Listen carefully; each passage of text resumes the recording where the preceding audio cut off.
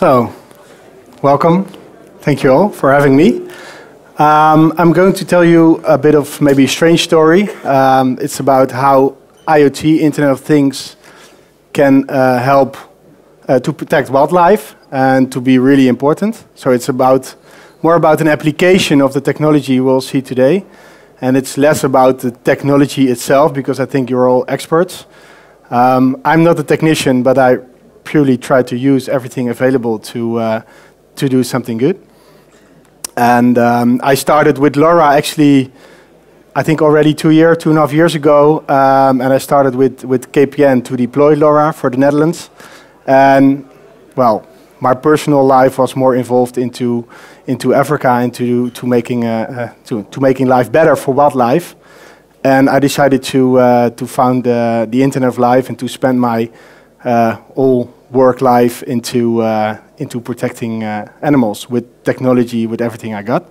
And this is what it is. Um, and I'm going to show you a bit what it is. So I have a couple videos, I have a couple bit of information about the projects we do.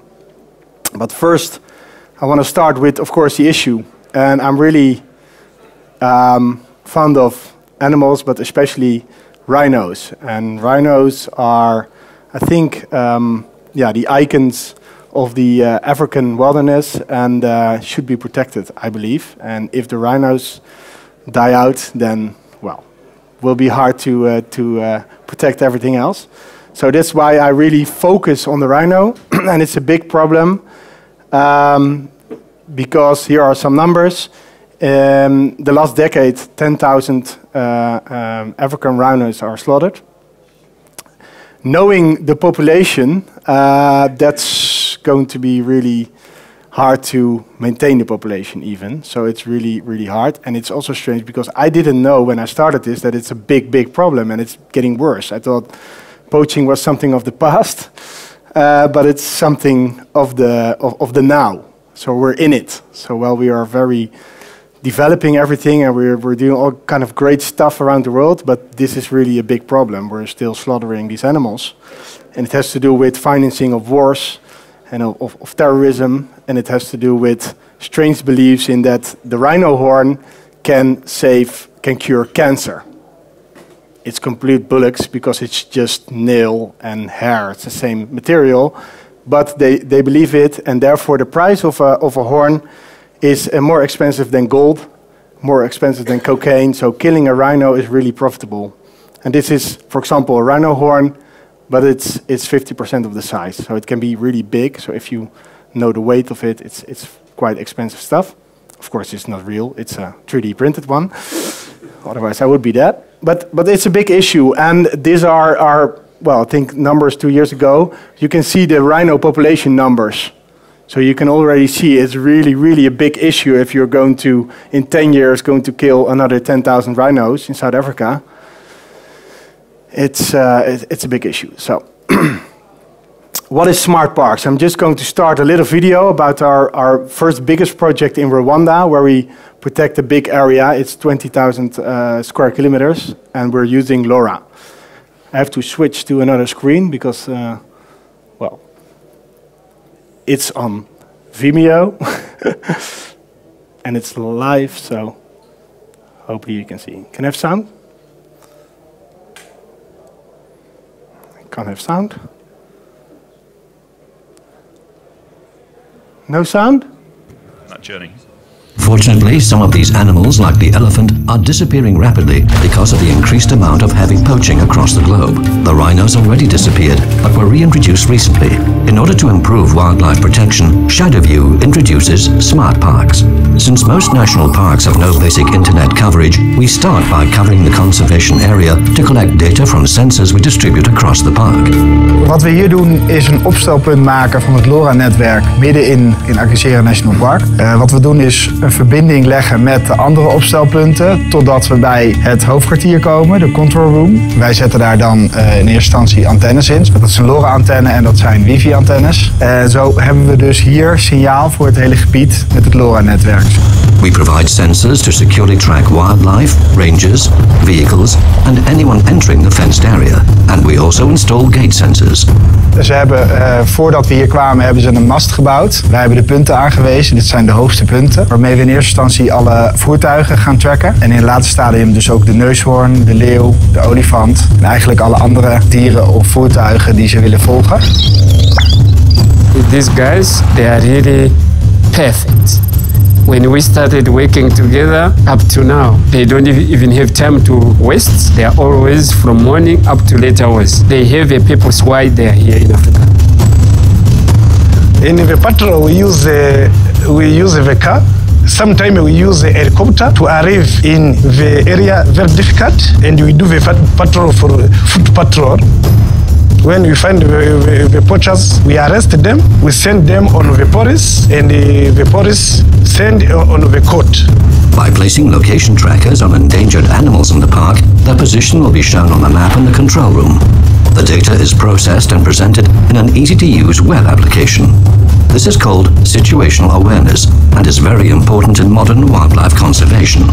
With locations updated every minute, the rangers are able to detect threats more easily the heat map functionality provides a valuable view on the long-term roaming areas of the animals, tourists and park personnel, which is important for park management and overall security. Nou, wat we doen voordat we alles de mast inbrengen, is eigenlijk alles testen. In dit geval is het belangrijk dat uh, de zenders het doen. En de kast, daar zit eigenlijk alle actieve apparatuur in. En die zorgt dat alles samenkomt. Daar zit ook stroom in, zit een accu in. En dat de kabel nog geheel is. Je kunt je voorstellen dat met alle transport hier over deze wegen dat, er, ja, dat die apparatuur veel klappen krijgt. Dus we testen alles voordat we weggaan en voordat het de mast in gaat, checken we alles. Meten we alles door. En ook als het hangt, meten we alles door. Richten we alle antennes uit, kijken we of we goed bereik hebben. En ja, dit is uh, nummertje 6. En we gaan er nog drie doen. Since 2016, Shadowview has already improved wildlife protection and park management in two national parks. With your support, Shadowview can turn more wildlife reserves into smart parks.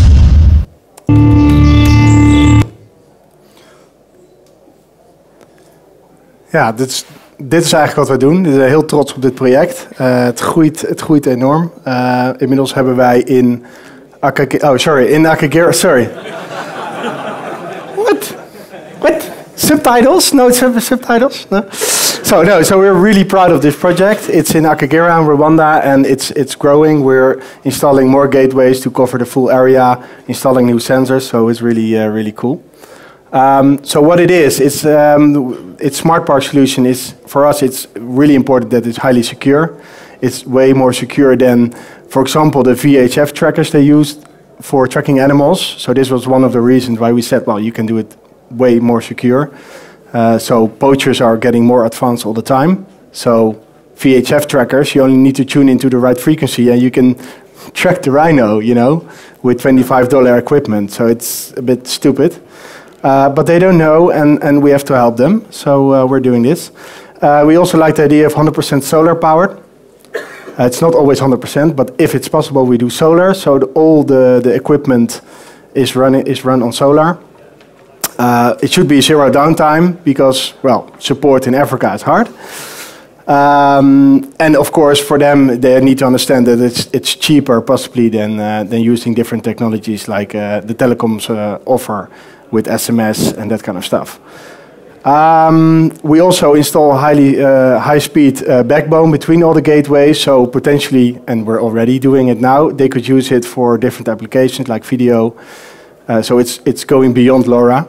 Um, and also important, it's 100% local. So we're we love the cloud and everything, but uh, it needs to be uh, able to run in a very remote location where power is not obvious and internet connectivity is also not obvious. So when the satellite is, is, is whatever, it's, it's hit uh, the dish uh, by a monkey, for example, or uh, has something ha this happens, or there's a power cut, it needs to run. So everything is, is running locally, um, and that, that works. Um, so some things we do is, for example, we do animal tracking, of course. It's a very, very important application because, well, to protect this big area with, with a small army force, you need to know where certain uh, key species are. So they want to track them, and usually they use uh, satellite callers, for example, but they use a lot of power. Therefore, they can't get a location update that often. So this is again good with LoRa. You can send location updates more often, so you can better position your armed forces. Tourist safety. So uh, of course, these areas are visited by tourists and they're, they're fun, but they can also make your life miserable if you manage a park. Uh, they don't. They, they do like to deviate from the from the paths, and they do like to di to disturb animals, and they do like to get stuck. So every day, a park gets called somehow by tourists getting stuck in a park, and they need to rescue them. And if they're in a hole where there's no radio coverage, they can't even call. And sometimes you just hear it on the end of the day. Well, these guys are still in the park. Where are they? So again, tourist safety is very important. Uh, road safety, fence protection. So a lot of the areas are fenced. Of, of course, you want to have uh, a fence is nice, but you want to have a bit of information about these very, very kilometer-long fences. Uh, so you can add sensors. Access control. Some places, of course, you have gates and, and, and, and you want to have a bit of idea uh, what is happening there remotely. Asset tracking, uh, water management also important. Very remote areas, water is usually a big issue. Uh, where, for example, the ranger stations are, or, for example, uh, you have places where animals, um, yeah, don't have access to natural water. You want to uh, add a bit of water or assist in, in, in, in getting them to the water. Uh, so water management, sensing where the water levels are good and not good is very important. Um, same with fuel. Fuel is very, very hard to distribute across these big areas. So you need to know when fuel tanks are low. Again, if you have to send a guy every day to manually check it, well, it takes a lot of time and energy and it's, it's, it's uh, not that often. Uh, you can solve this, of course, with, uh, with an easy LoRa sensor.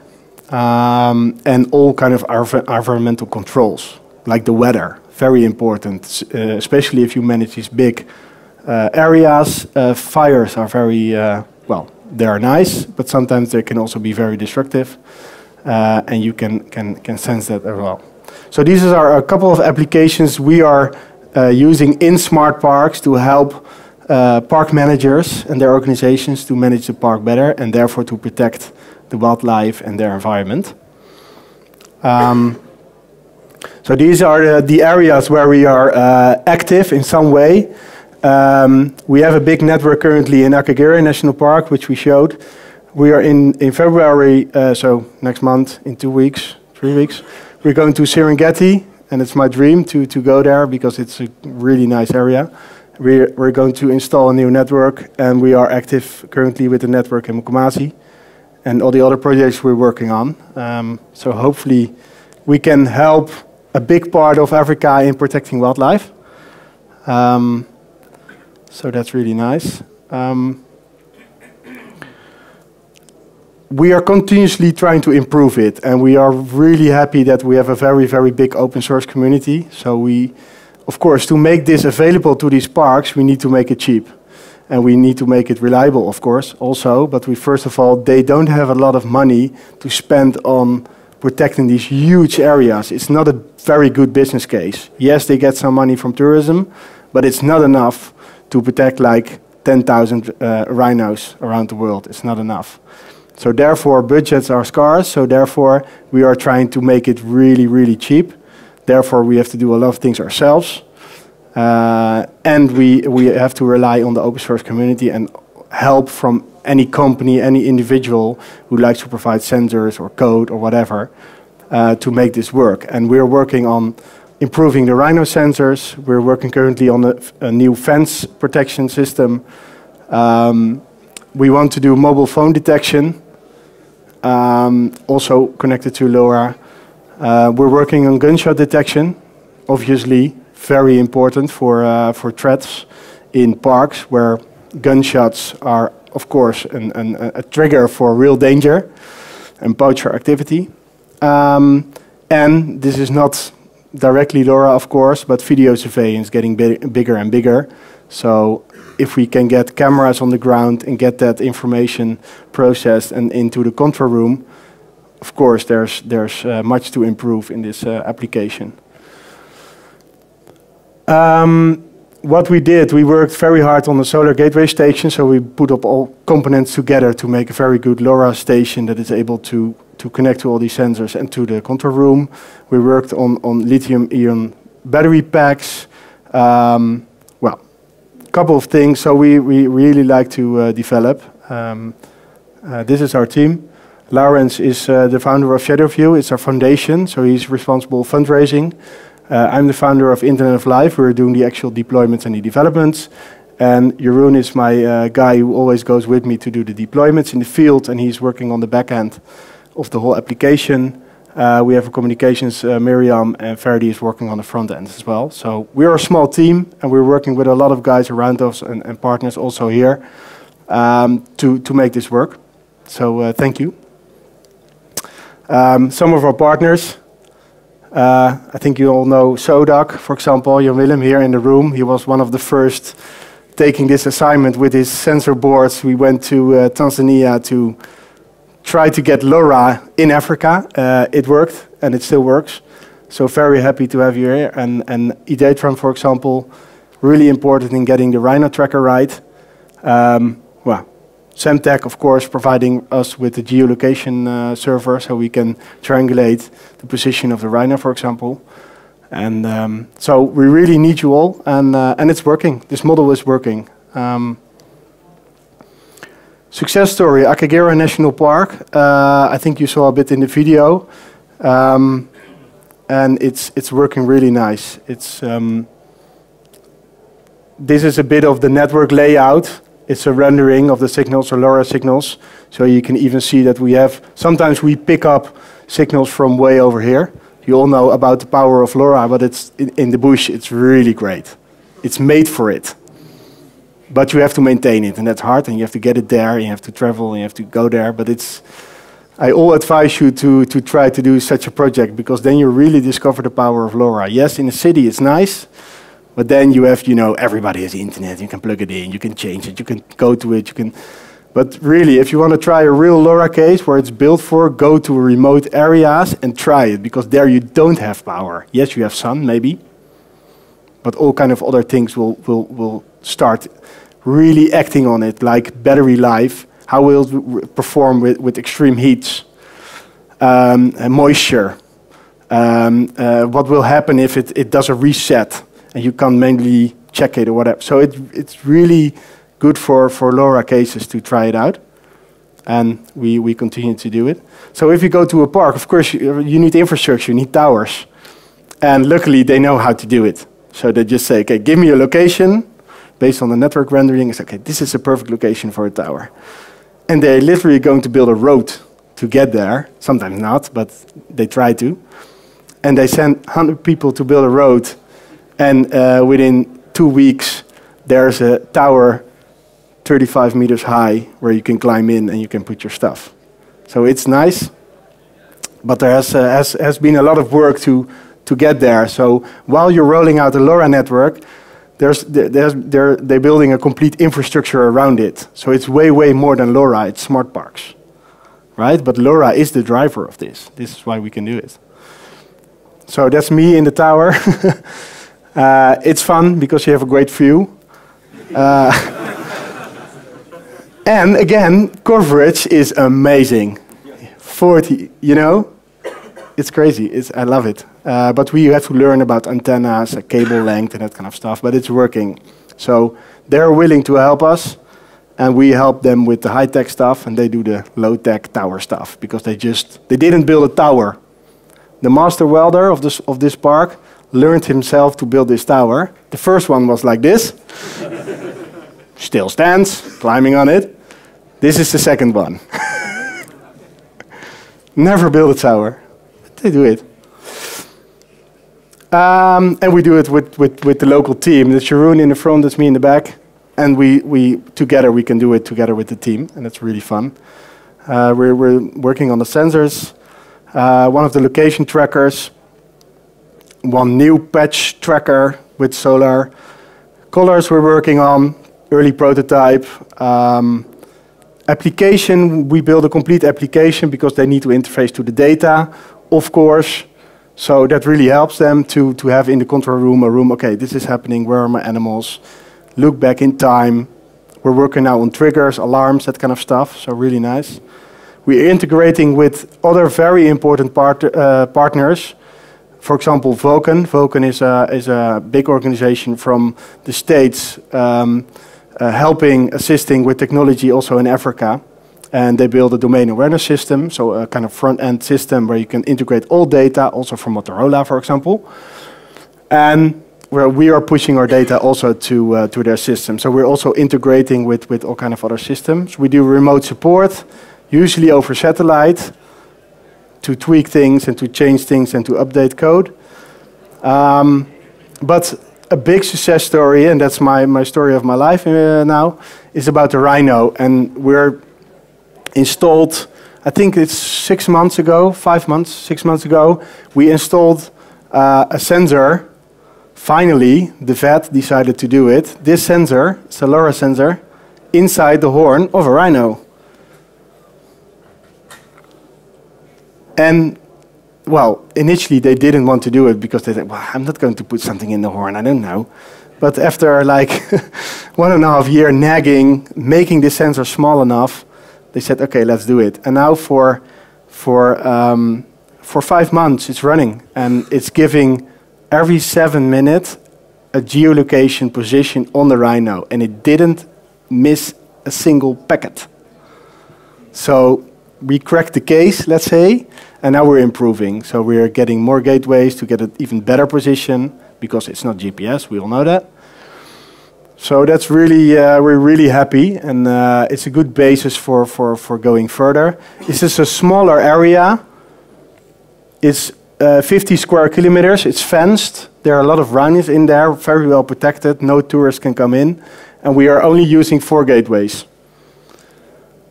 Uh, again, installed with the local team. um, I'm not going to disclose exact locations of the rhinos, obviously. Uh, so But this is, for example, very good coverage already because we have big hills there. So we only have to, we only need a very small coverage area you're, we're showing here. Uh, we use four Kerlink iBTS gateways, and we use the Semtech packet uh, um, uh, geolocation resolver. Uh, and, and, well, at that stage it was not even finished, but we used a couple iterations to improve it, and it's it's it's really accurate. I can't I didn't expect it myself. First tests here already. Um, this is a, this is purely based on geolocation, no GPS involved. And it's not moving. I know a rhino is moving, but a rhino is not moving every time at 100 kilometers an hour. This is this is a, a fixed node. Okay, I know, but only four gateways in this area, and it's I like it. You know, no GPS involved in the bush. This this sensor can run for years. Another one. So we're che we're checking like optimizations in the code for height, for example. It's very important. If you use geolocation, make sure your sense or the network knows the height of the sensor. So if it's a static node, give him the height uh, correct for height. It's very important. It will optimize your uh, your estimates very very good. So we got it down to this. So was it was it 50?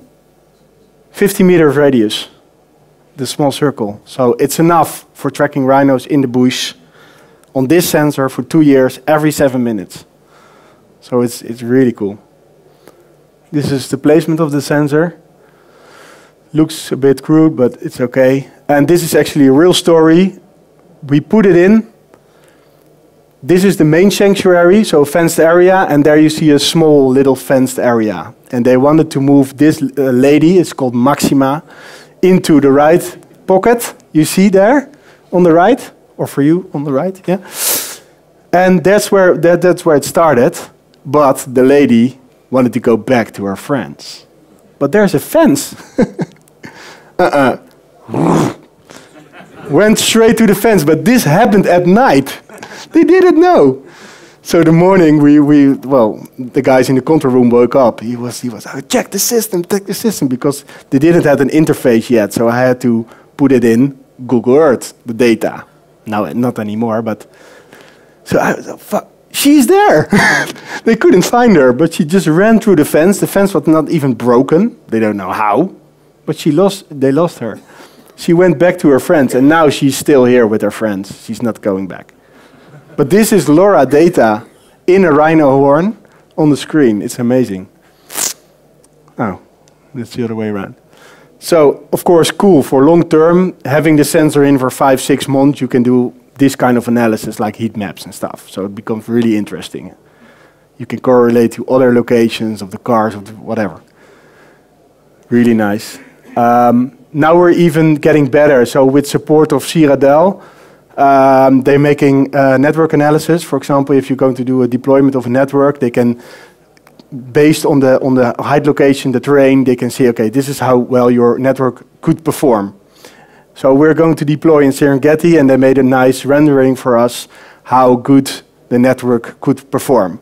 I think it's even better than, than they calculate, but it's so it, we have these days really nice tool to, uh, tools to help in these kind of networks. And we're not very rich company, of course. We're a non-for-profit, so we, we need the help, all the help we can get. And this is really helpful because this helped us to optimize the location of the gateways, which we have to get right in one time. Luckily, for example, we won we win prizes to get a, to get us some support. So we, we did win a big prize, Wildlife uh, Challenge, WWF and Wild Labs. And we're going to India this year to also deploy a LoRa network to, um, to prevent human-wildlife conflict between elephants and farmers. Um, really nice. Um, and again, we need your help. So if you have any ideas and you, you know a way to help us, for example, on the sensor side with energy harvesting, even with the new system we're going to try, LoRa from space, very interesting for remote locations where you don't have gateways and the animals are going into the wild over countries where they can't be tracked, right? Really interesting.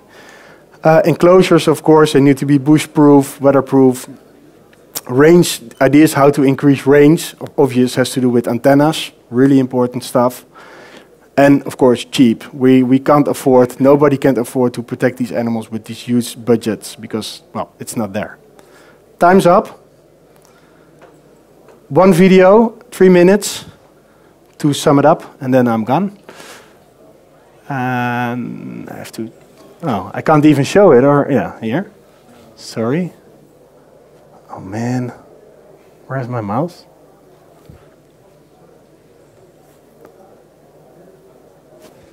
Sorry, guys.